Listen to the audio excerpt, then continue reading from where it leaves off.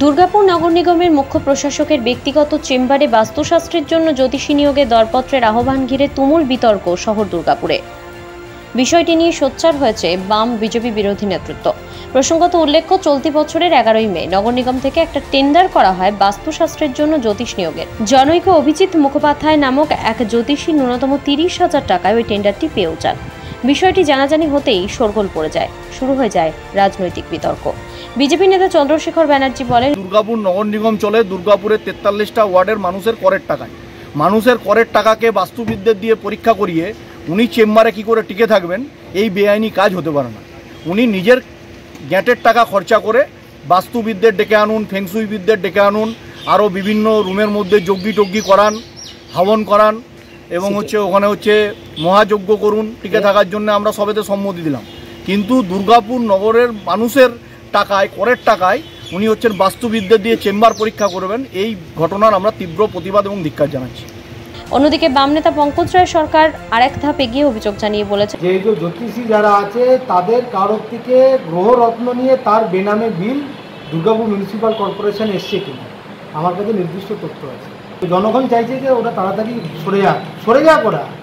কেন হচ্ছে? ভোট করছে না। আচ্ছা বলুন তো গভর্নমেন্টের ট্যাক্সের পয়সাতে বাস্তুতন্ত্র মেনে তার আসবাবপত্র হবে তার ঘর হবে অফিস ঘর হবে কি চলছে যদিও এই ইস্যুতে নগর নিগমের প্রশাসক মণ্ডলীর চেয়ারপারসন অনিন্দিতা মুখোপাধ্যায় জানান ভুল বোঝাবুঝির কারণে এমন ঘটনা ঘটেছে। এই জ্যোতিষীর খরচ তিনি নিজে ব্যক্তিগতভাবে বহন করবেন। এই টেন্ডারের ওয়ার্ক অর্ডার বাতিল করা হয়েছে বলেও জানিয়েছেন তিনি। এটা একদমই একটা অসম্ভব ব্যাপার কারণ এরম সরকারি টাকা নিয়ে বাস্তু করানোর মতো কোনো বাসনা আমার বাসনা শুধু নয় এটা হয় না কখনো সরকারি টাকা দিয়ে। সম্পূর্ণ এটা একটা মিসআন্ডারস্ট্যান্ডিংয়ের ব্যাপার হয়েছে। যেটা আমি করিয়েছি, সেটা সম্পূর্ণ আমার পার্সোনাল ব্যাপার। কারণ আমি যখন এখানে এসে বসবো, আমার মনে হবে আমার কাছে যে মানুষজনরা আসবেন যেন পজিটিভ এনার্জি পান, যেটা মনে হয়। সেটা সম্পূর্ণ আমার ব্যক্তিগত খরচে আমি বহন করব। কিন্তু যেহেতু এটা আমার অফিসে হয়েছে কাজটা অফিসিয়ালস যারা রয়েছেন, তাদের একটা ধারণা হয়েছিল যে যেহেতু মেয়র ম্যাডামের অফিসে হচ্ছে, তাহলে বোধহয় অফিসিয়াল খরচের মধ্যে যাবে। এইভাবে আগে সম্পূর্ণ মিসআন্ডারস্ট্যান্ডিং হয়ে ওনারা টেন্ডারটা করে ফেলেছিলেন। আমি যখন এই ঘটনাটা জানতে পারি যে এরকম ধরনের একটা অভিযোগ আসতে শুরু করেছে, আমি সঙ্গে সঙ্গে সকলকে ডেকে পাঠাই। টেন্ডার কমিটিতে যারা ছিলেন ইঞ্জিনিয়ার্স যারা ছিলেন পারচেস ডিপার্টমেন্ট এবং সবাইকে ডেকে জানতে পারি। তারা বুঝতে পারেননি ব্যাপারটা, যার জন্য এটা করে ফেলেছেন।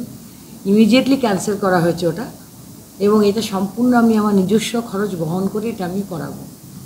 মাধ্যমিক ও উচ্চ মাধ্যমিক পরীক্ষার্থীদের জন্য সুখবর, কম্পিউটার প্রশিক্ষণের সেরা ঠিকানা, চয়েস কম্পিউটার ট্রেনিং ইনস্টিটিউট। অত্যাধুনিক ও আকর্ষণীয় কম্পিউটার ল্যাব, নিরিবিলি পরিবেশে প্রশিক্ষণের সুযোগ, প্রত্যেক স্টুডেন্টের জন্য আলাদা আলাদা কম্পিউটার, কোর্স অনুযায়ী লেকচার ও নোটের সুবিধা সহ ট্রেনিং শেষে থাকছে ISO and government registered certificate. তাই দেরি না করে আজই ডিপ্লোমা ও অ্যাডভান্স ডিপ্লোমা কোর্সে ভর্তি হতে যোগাযোগ করুন এই নম্বরে।